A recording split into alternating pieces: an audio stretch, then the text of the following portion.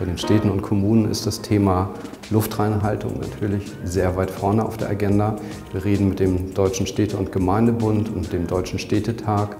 Und jede Stadt wünscht sich möglichst wenig Staus, korrespondierend damit möglichst reine Luft und natürlich Parkplätze.